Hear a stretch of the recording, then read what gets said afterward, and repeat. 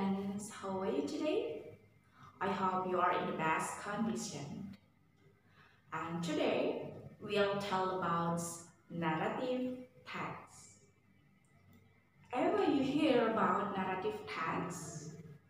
Yes, you ever heard about narrative texts like Malin story, Cinderella story, Snow White story, and especially from Samas Regency Kalimantan Barat, they are Bujangadi dari Nanggung and Tanunggal. And here also we'll explain about what is narrative text, what's the purpose of narrative text. For knowing it, let's get started.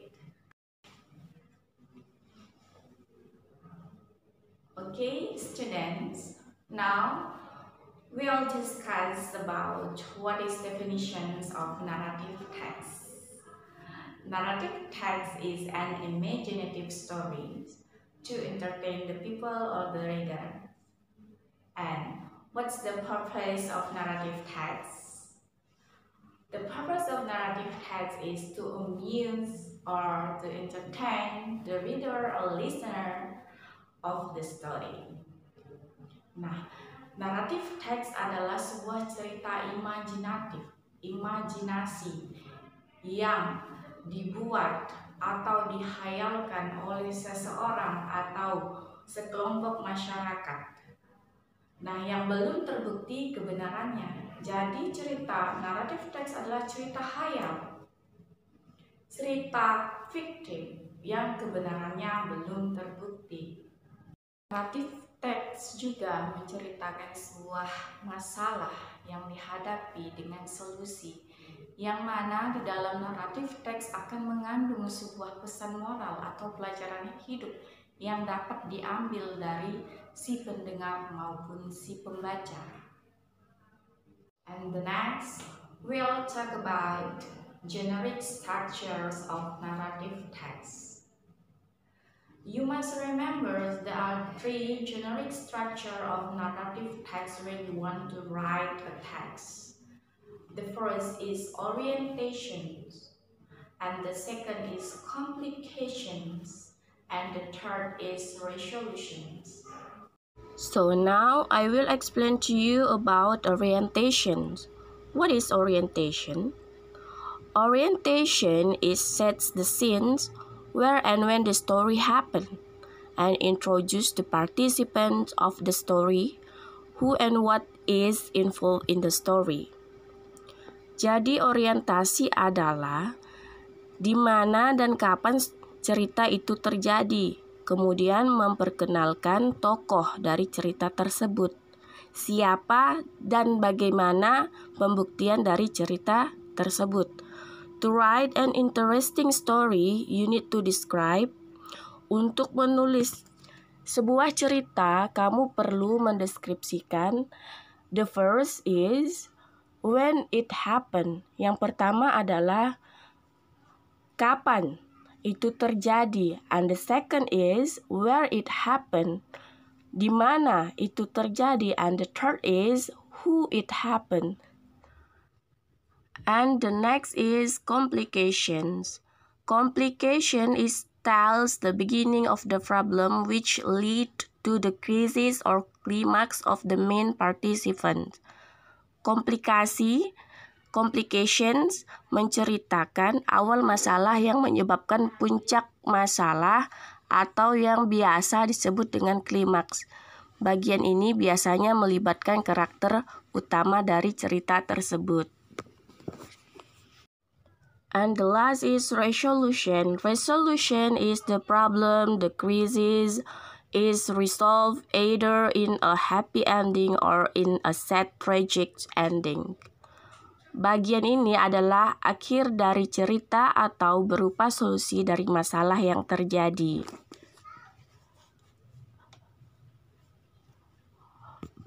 Masalah selesai baik secara happy ending, bahagia maupun bad ending atau buruk.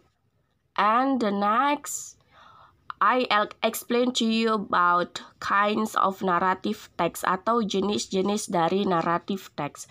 There are some kinds of narrative text. They are the first are folk tales. Folk tale adalah cerita rakyat. Cerita yang diceritakan secara turun-temurun sehingga menjadi suatu bagian dari tradisi masyarakat. And the second is about legend atau legenda. Legenda cerita rakyat yang mengisahkan bagaimana asal-usul dari suat, sebuah tempat itu ada. Misalnya, cerita tentang Danau Toba. Kemudian, and the next is myth. Myth adalah cerita atau mitos. Ini banyak berkembang pada masyarakat serta umumnya dianggap menjadi cerita yang faktual atau benar-benar terjadi. And fourth is fable. Fable cerita yang mengisahkan mengenai binatang, misalnya kancil dan buaya. And the last is fairy tale atau kisah peri atau dongeng, cerita rakyat atau cerita anak-anak yang di dalamnya mengandung unsur keajaiban atau ketidakmungkinan terhadap para tokoh ceritanya, serta pada bagian akhir mengandung pesan moral. For example, misalnya adalah tentang tentang Cinderella, Snow White. Nah, Cinderella and Snow White itu termasuk ke dalam fairy tales atau dongeng. Okay student and the last I will explain to you about language feature. Language feature atau unsur kebahasaan. There are some language feature of narrative text.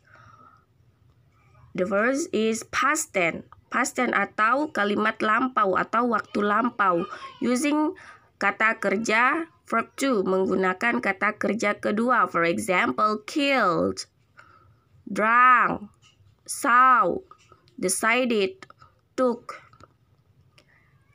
Saw kata kerja kedua dari si. Kemudian took kata kerja kedua dari take. Undecided kata kerja kedua dari decide. Next, adverb of time atau keterangan waktu. Jadi di naratif teks kita menggunakan adverb of time atau keterangan waktu seperti once upon a time or one day. Once upon a time pada zaman dahulu atau one day suatu hari. And the next is time conjunctions atau waktu penghubung seperti when, kapan, ketika, dan, kemudian, suddenly. And the next is specific character atau karakter atau pemain. The character of the story is specific, not general. Jadi karakter dari cerita itu adalah khusus, tidak umum. For example, Cinderella. Jadi pemainnya atau karakternya adalah Cinderella.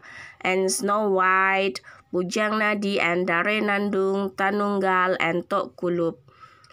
Jadi pemain utamanya adalah Snow White, kemudian Bujang Nadi dan Dare Nandung, kemudian Tan Unggal dan Tok Kulub. And the last is direct speech atau kalimat langsung. It is to make the story lively. Snow White said, My name is Snow White. The direct speech uses present tense. Jadi kita menggunakan kalimat langsung itu untuk membuat ceritanya lebih hidup. Contoh, Snow White said, Snow White berkata, My name is Snow White. Nama saya Snow White. And this part, I will show you the example of narrative text. Especially from Kalimantan Barat, the story about Tan Unggal and Bujang Nadi Dare Nandung. Nah, you You can see the text here. Kamu bisa ngeliat teksnya di sini. Nah, di sini bercerita tentang Tan Unggal dan Bujang Nadi dari Nandung. Yang mana Tan Unggal was a cruel and vile king. Maksudnya adalah Tan Unggal adalah seorang raja yang kejam dan keji. He was a descendant of the goblin. Dia keturunan dari jin, which was found in a piece of bamboo by the king of Sambas, who was previously on a hand. Dia ditemukan dari seruas bambu oleh Raja Sambas yang sedang berburu. In the forest, Tanunggal had two children, named Bujang Nadi and Dare Nandung. Tanunggal mempunyai dua anak, bernama Bujang Nadi and Dare Nandung. They did not allow by his father to went out of the palace and got to know the common people. Mereka, yaitu Bujang Nadi dan Dare Nandung, tidak diizinkan oleh ayahnya Tan Unggal untuk keluar istana dan diketahui oleh halayak atau masyarakat ramai. Nah, kalian bisa ngelihat di sini ya untuk once upon a time yang tulisan berwarna hijau itu adalah uh, adverb of manners atau keterangan waktu. Kemudian was ya naratif teks menggunakan kata menggunakan simple past tense. Nah, was di sini adalah bentuk dari simple past tense yaitu bentuk dari lampau. Nah, pada bagian ini merupakan orientation atau pengenalan siapa yang dibicarakan dalam teks tersebut yaitu Tan Unggal dan Bujang Nadi Dare Nandung. Kemudian di mana dan kapan uh, kejadian kejadian dari cerita tersebut. Nah, kalian bisa ngelihat nah uh, cerita ini terjadi di Sambas. Kemudian uh, Bujang Nadi Andare Nandung adalah spesifik karakter. And this paragraph is about complication. Complication atau awal mula permasalahan. One day, Bujang Nadi and Nandung was playing together in the palace yard. They told about their desire to get a future wife and husband. Bujang Nadi wanted to get a beautiful wife like Nandung, and Nandung wanted to get a husband like Bujang Nandi, who was handsome and dancing. Their conversations was both misinterpreted by one person Pellet's cart who were in the courtyard.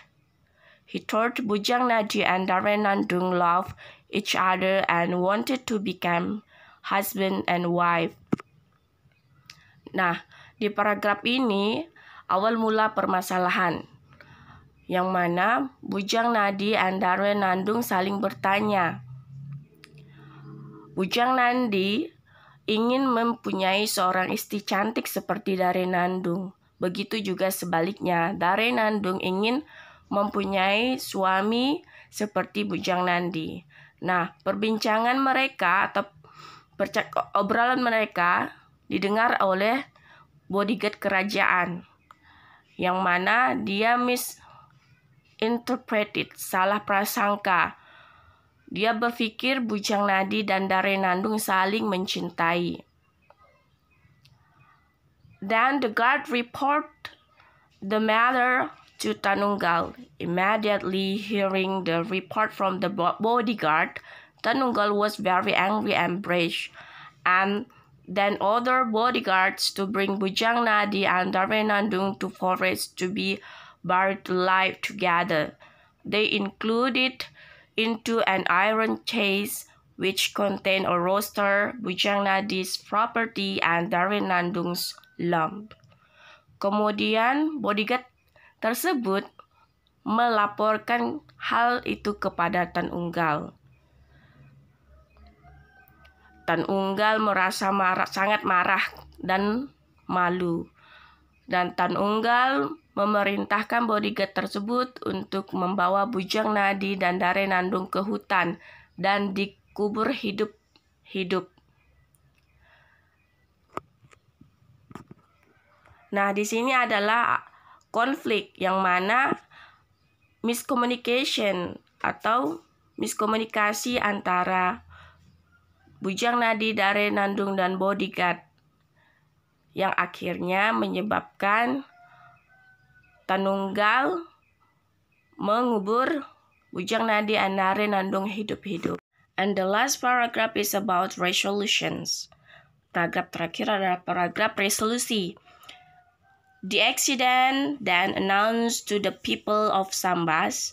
The people very surprised and asked each other what the brothers had do.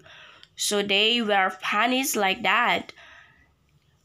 And of times his reign, Tanunggal was reportedly included iron cage to be carried to the mouth of the Sambas River.